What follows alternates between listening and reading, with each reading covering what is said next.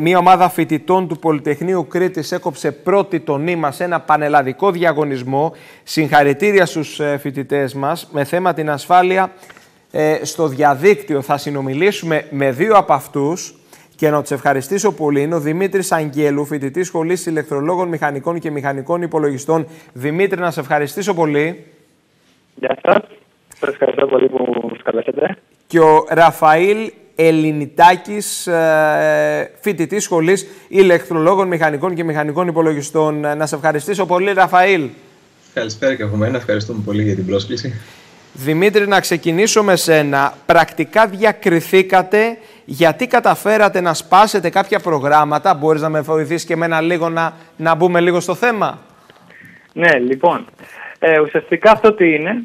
Είναι ένα σύνολο προβλημάτων, ε, μικρά challenges, με διάφορα θέματα ασφάλειας και σπασιών του κυβερνοχώρου. Δηλαδή μπορεί να πρέπει να σπάσουμε ένα πρόγραμμα, να μπούμε σε έναν υπολογιστή, σε μια ιστοσελίδα, να φτιάξουμε, να παρακάμψουμε μια κρυπτογραφία και μέσα από αυτά να ξεκλειδώσουμε ένα κωδικό, να πάρουμε κάποια δεδομένα. Ε, και ουσιαστικά, όταν το πάρεις αυτό, το καταθέτεις, σου λένε ότι είναι σωστό και παίρνεις τις πόντες σου. Δηλαδή, Οπότε, κατά κάποιο τρόπο, ναι, να λύσετε κάποια προβλήματα, δηλαδή, δεν ξέρω τώρα αν πω το σωστό όρο, να χακάρετε κάποια, κατά κάποιο τρόπο. Ε; Ναι. πρακτικά, πρακτικά αυτό που κάνουμε είναι hacking. Αυτό που ξέρει ο κόσμος ως hacking. Μάλιστα. Ραφαήλ, να περάσω σε σένα. Θέλω να μου πεις πόσο εύκολο ή πόσο δύσκολο για κάποιον να προστατευθεί στη σύγχρονη εποχή από τους κινδύνους του διαδικτύου. Ε, εντάξει, γενικά κοιτάξτε. Όσο πληθαίνουν τα πράγματα που, είναι, που έχουν να κάνουν το διαδίκτυο, όσο το διαδίκτυο μπαίνει τώρα πια όχι μόνο στους υπολογιστές, αλλά και στα ψυγεία μας που λέει ο λόγος με τις έξυπνες συσκευές και όλο και πιο πολλά μέρη της ζωής μας εξαρτώνται από αυτό, ε, αναγκαστικά πρέπει και ο κόσμος αντίστοιχα να εξελίσσει την άμυνά του εισαγωγικά. Δηλαδή να μαθαίνει τι πρέπει να κάνει για να αποφύγει οτιδήποτε κακόβουλο. Ε, δεν είναι κάτι τρομερό, δεν είναι κάτι δύσκολο. Συνήθως είναι απλά κάποιος να είναι σχολαστικός με τα μέτρα που πάνω κάτω όλοι ξέρουμε. Δηλαδή να αλλάζει κωδικού, να προσέχει που δίνει τα δεδομένα του. Ε, όχι περίπλοκα πράγματα. Δημήτρη, τα δεδομένα αλλάζουν καθημερινά και χρόνο με το χρόνο οι κίνδυνοι αυξάνονται, πολλαπλασιάζονται, μεγαλώνουν. Οι κίνδυνοι πάνω κάτω παραμένουν σταθεροί από την αλήθεια. Αυτό που πρέπει να κάνει ο κόσμος είναι να μην δημοσιεύει ουσιαστικά πιο πολύ τα δεδομένα, τα προσωπικά του δεδομένα στο δημοσίως. Ε, αυτή είναι η μεγαλύτερη ευπάθεια που θα μπορούσα να πω δεν είναι ότι π.χ. θα μα σακάρουν την τράπεζα. Αυτό είναι πιο σπάνιο. Το πιο συνηθισμένο, π.χ. ξέρω ότι η Μαρία τη λένε Μαρία, βάζω το όνομά μου Μαρία στο Facebook π.χ. και παίρνω έτσι. Αυτό πρέπει να βάζει και πολύ. Να μην είναι προβλέψιμος. Προσωπικά δεδομένα δηλαδή σε ιστοτόπους κοινωνικής δικτύωσης, αυτό αναφέρεις, η υπερπροβολή ορισμένων. Ναι, και αυτό είναι ένα πολύ σοβαρό, θα έλεγα, θέμα του διαδικτύου. Ναι. Ε, ναι. Μάλιστα.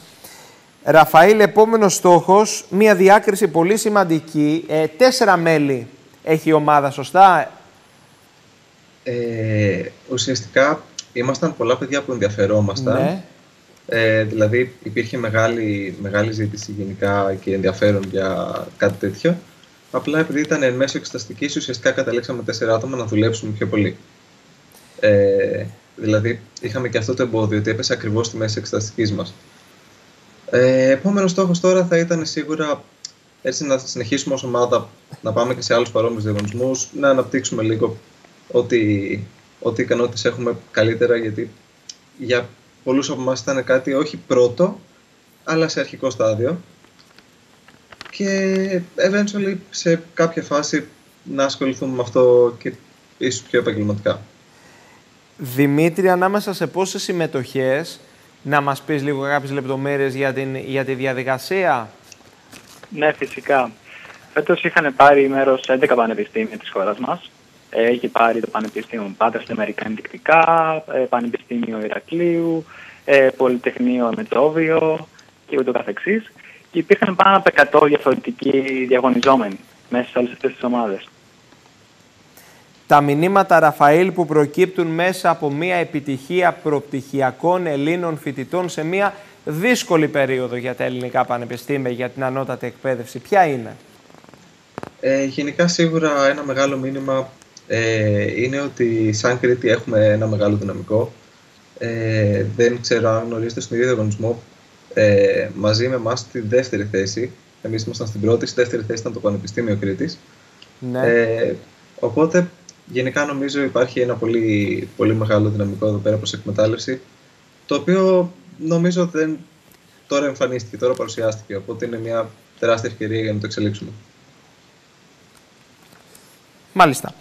Δημήτρη Ραφαήλ, να σας ευχαριστήσω πολύ. Εύχομαι να τα πούμε ε, και η επόμενη φορά να είναι ακόμα μια επιτυχία δική σας του Πολυτεχνείου Ελλήνων Φοιτητών. Ήταν χαρά η συζήτηση ε, που είχαμε και η κουβέντα που είχαμε. Χαρά για όλους εδώ και ελπίζουμε να τα ξαναπούμε. Στη διάθεσή σας.